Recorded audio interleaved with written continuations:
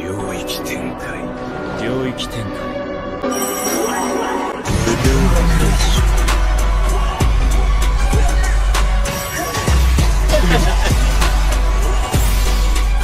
Satoru Gojo é um dos feiticeiros mais fortes do universo de Jujutsu Kaisen, e muito disso se deve à sua incrível técnica apelona amaldiçoada do ilimitado. esta técnica é incrivelmente poderosa e também oferece a ele o poder do infinito, que envolve todo o seu corpo e evita que todo e qualquer ataque o atinja. Gojo automatizou esta técnica do infinito e por isso ele está sempre protegido de qualquer dano. Essa técnica é uma habilidade que torna Gojo um personagem quase invencível e o que lhe deu a fama de ser o feiticeiro mais forte da era moderna. E embora o infinito seja incrivelmente poderoso, existem certas maneiras de anulá-lo ou superá-lo, e nós já vimos algumas delas que foi mostrada em Jujutsu Kaisen. E é por isso que hoje eu trago para vocês todas as maneiras reveladas de burlar o infinito. Então, se você quer saber tudo isso, vem comigo, porque eu vou falar disso agora. Mas antes, eu te peço que na humildade, deixa aí o seu likezão e se você for novo por aqui, já se inscreve no canal para não perder o melhor conteúdo de Jujutsu Kaisen. E é claro, se inscrevendo e ativando o sininho, você vai ajudar muito a gente a bater a meta de 20 mil inscritos. Então, sem mais delongas, bora para o vídeo. Impossível. Não foi como antes. Eu sei que te toquei e te matei. Você acha que me tocou, mas só tocou o Mugen entre mim e você. Fala galera, beleza? Tudo bem com vocês? Eu espero que sim. Uma das maneiras mais úteis de anular o infinito é usando a amplificação de domínio. Esta habilidade simplesmente faz com que o usuário cubra seu corpo com uma espécie de domínio inato, que então ajuda a anular qualquer técnica amaldiçoada ou qualquer expansão de domínio que esteja em contato. Este é um poder incrivelmente útil, mas apenas algumas pessoas do universo de Jujutsu Kaisen podem confiar neles. No entanto, não se deve confundir você conseguir ignorar os efeitos da técnica com desativar a técnica, porque a amplificação de domínio ela consegue anular durante o golpe, porém a técnica continua ativa. As primeiras pessoas vistas usando essa habilidade foram Jogo e Hanami, quando lutaram contra Satoru Gojo em Shibuya. Amplificação de domínio. Eles se cobrem com um domínio. E apesar do dano deixar de ser garantido, podem neutralizar qualquer encantamento. Até eu tenho que prestar atenção nisso. Senão eles podem conseguir me acertar. Mais para frente, o Sukuna também usou a mesma habilidade quando lutou contra Gojo. Porém, essa técnica tem uma desvantagem, é que o usuário não consegue usar sua técnica amaldiçoada inata junto com a amplificação de domínio.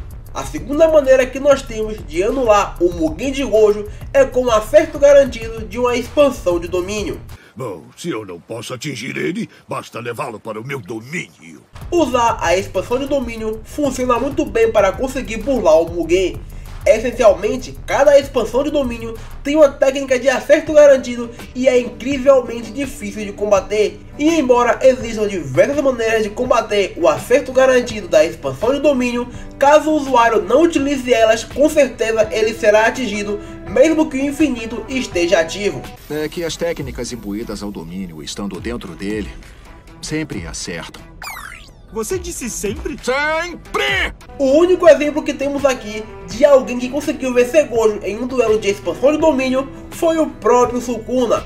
Quando Sukuna quebrou a expansão de Gojo, ele foi alvo de diversos cortes de Sukuna, porém, mesmo que o infinito estivesse ativo, não faria nenhuma diferença, porque o ataque certeiro da expansão de domínio com certeza o acertaria. E o próprio Gojo confirma isso durante o seu duelo contra Jogo. Jogo fala que se expandisse seu domínio, ele conseguiria ignorar o Mugen de Gojo.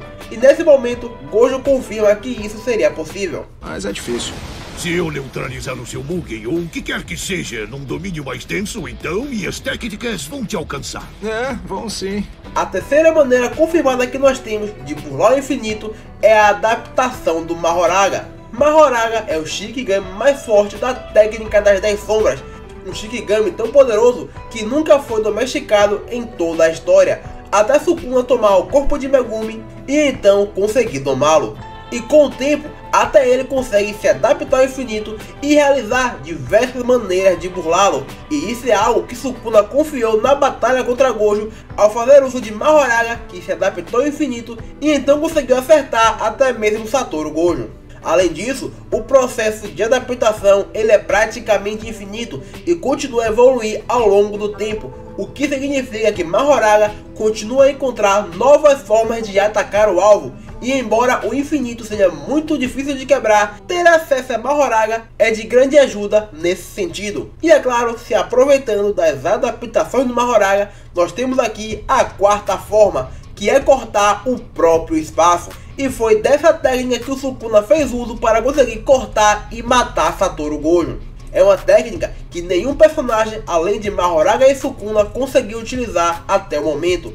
Essencialmente, Sukuna possui o poder de cortar as coisas e então ele atingiu o espaço onde Gojo estava. Ou seja, enquanto Gojo existisse naquele espaço, ele seria cortado. O Mahoraga usou essa mesma habilidade e ela foi bem útil para Sukuna, porque quando Sukuna mirava em Satoru Gojo, o infinito simplesmente anulava qualquer coisa que estava vindo. Porém, quando Sukuna cortou o espaço em si, o infinito foi irrelevante, porque enquanto Gojo existisse naquele espaço, o corte iria afetá-lo. É uma técnica muito poderosa, no entanto, a forma como funciona faz pouco sentido, Porém, GG Kutami cravou que isso é capaz de burlar o Mugen, então eu não estou aqui para contestar. A quinta forma que nós temos de burlar o infinito é com a lança invertida do céu.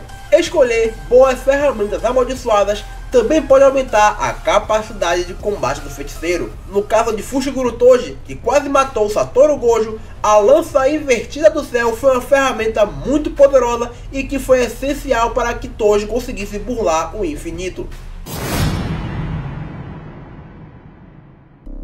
Apesar de que isso te forçou a concentrar sua técnica na defesa. Esta arma está imbuída de uma energia amaldiçoada e uma maldição estranha, e por isso possui propriedades especiais. Essencialmente, qualquer técnica amaldiçoada que essa lâmina entre em contato é anulada imediatamente. E mesmo técnicas amaldiçoadas poderosas como o infinito, que oferecem literalmente um infinito para se defender, podem ser facilmente anuladas utilizando a lança invertida do céu. E foi com essa arma amaldiçoada que Tojo foi capaz de ferir Gojo e colocá-lo em um estado de quase morte quando eles lutaram pela primeira vez.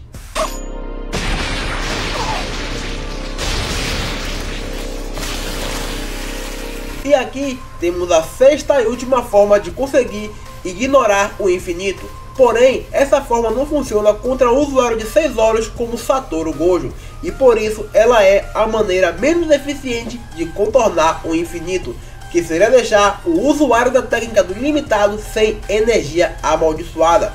Claro, é algo incrivelmente difícil de conseguir e é impossível no caso de Satoru Gojo, que possui os seis olhos, que lhe dá praticamente energia amaldiçoada infinita, já que ele reduz o gasta praticamente zero e Gojo consegue recuperar mais energia do que gasta. Porém, para outros usuários do ilimitado que não têm os seis olhos, é uma forma bem eficaz bombardeá-los de ataque para que ele não possa desativar o infinito e então fique sem energia amaldiçoada. E galera, estas são as 6 formas que nós temos de como burlar o infinito. E se você curtiu esse vídeo, não esqueça de deixar aquele likezão para fortalecer muito a gente e aquele comentário de apoio. Você também pode recomendar conteúdos que você quer ver aqui no canal. Infelizmente hoje eu fico por aqui. Um abraço e fica com Deus!